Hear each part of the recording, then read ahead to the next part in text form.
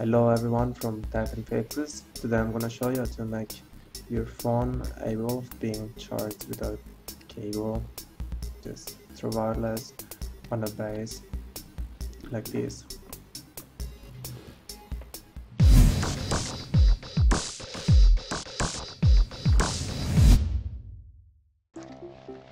So as first thing you have to take the wireless receiver uh, out from the back you just it says wireless charger and you can see the circuit that it needs to take the signal from the base and there is just some details.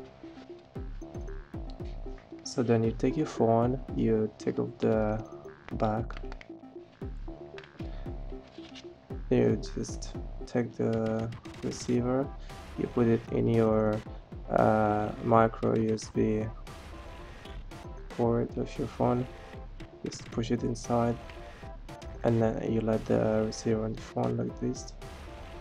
And then you just take the back cover and put it back on the phone. Make sure to close every side carefully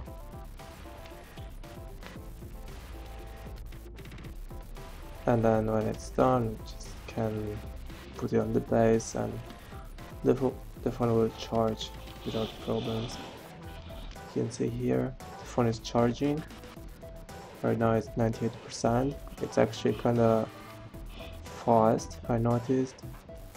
And you can see when the phone is charging the light is red. The light on the base. When you put out the phone of course goes off and then on again when you put the phone. Now I'm gonna show you that the receiver on the phone can work with different bases.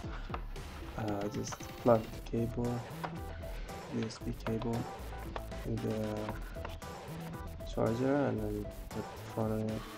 It takes some seconds because it's a bit slower than the other one but it does the job.